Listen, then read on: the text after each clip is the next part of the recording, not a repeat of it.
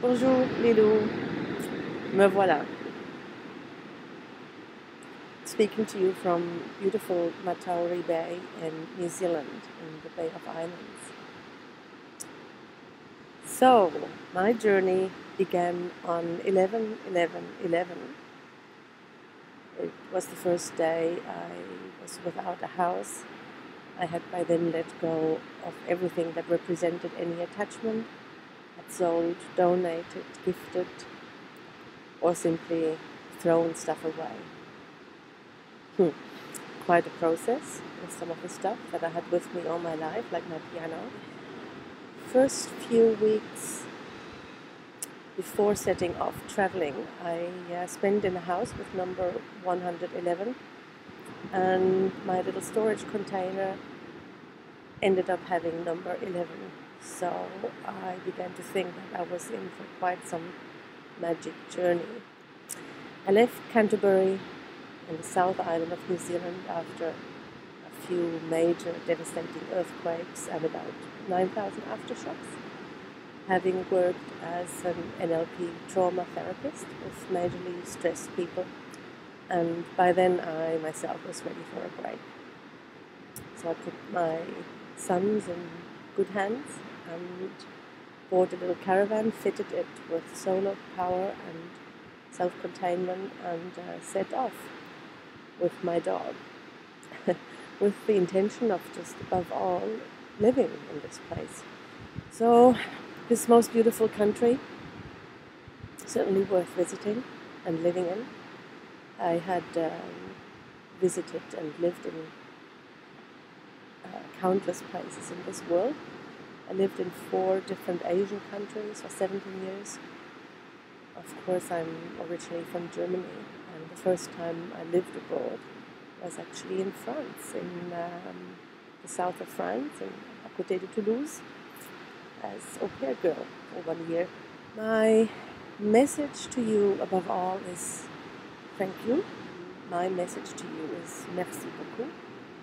You have inspired me with your energy, your videos and your own and your own growth.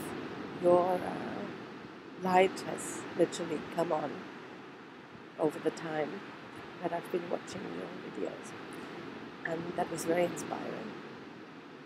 So my intention after this journey here is um, to create New Zealand's first integrative health center and develop a model that can be brought out all over the world.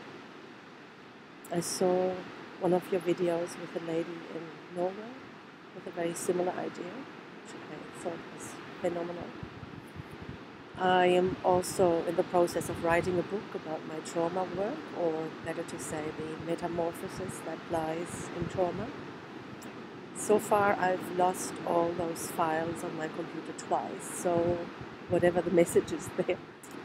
So, what really happened on this free fall journey is uh, I came across some major, major karma things that I had to resolve. Tick that box. I overcame my fear of public speaking.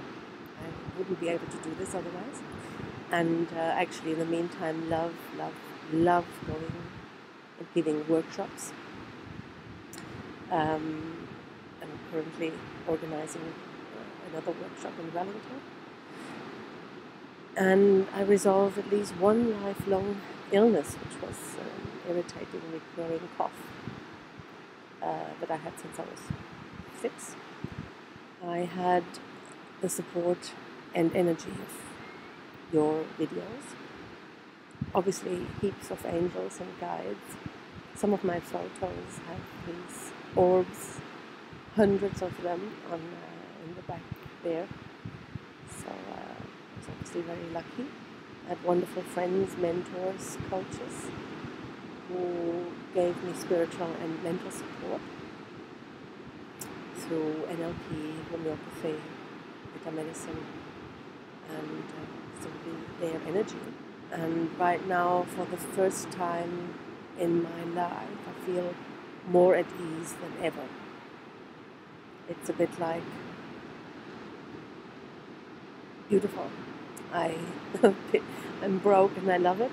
Like you say in your book, I uh, lost my job and I love it. so um, at this point, I wish my project were already in place, so we could welcome you and be your next host country.